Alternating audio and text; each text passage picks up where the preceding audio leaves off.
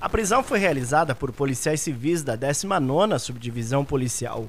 Os dois homens, que não tiveram nome divulgado, são apontados pela investigação como responsáveis por um incêndio que destruiu um depósito de materiais recicláveis na margem da PR 475, próximo à comunidade de Nova Concórdia, no dia 25 de dezembro.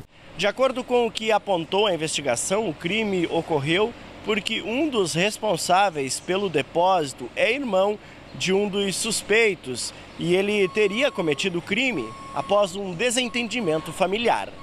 Um dos suspeitos foi preso em Francisco Beltrão e o outro em dois vizinhos. Um desses indivíduos, vale dizer, se trata do próprio irmão da vítima, que é responsável pelo depósito.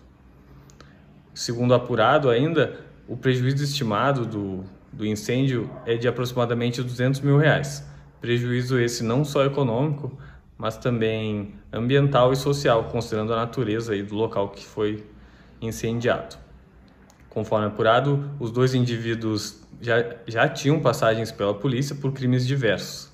Após a conclusão do inquérito, os suspeitos deverão responder pela prática do crime de incêndio, previsto no artigo 250 do Código Penal, com pena prevista de 3 a 6 anos de reclusão. Os presos foram encaminhados à cadeia pública, onde permanecem à disposição da Justiça.